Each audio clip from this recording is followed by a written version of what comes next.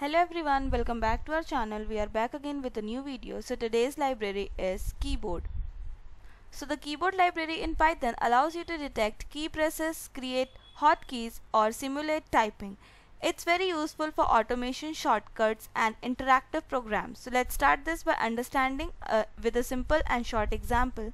So for that firstly we'll import the keyboard library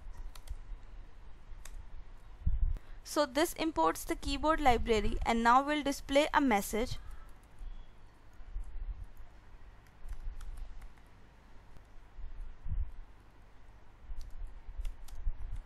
So this displays a simple message and now we'll create a infinite loop. So this keeps the program running so that it can continuously check for the key presses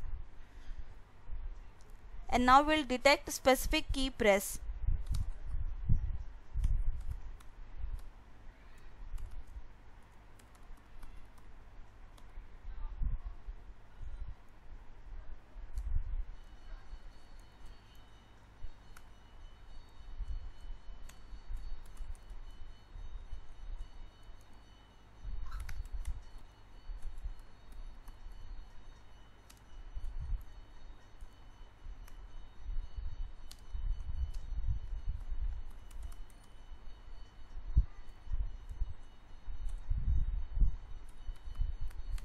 Okay, so here keyboard is pressed Q. This checks if the Q key is pressed and prints a message and stops the program using break.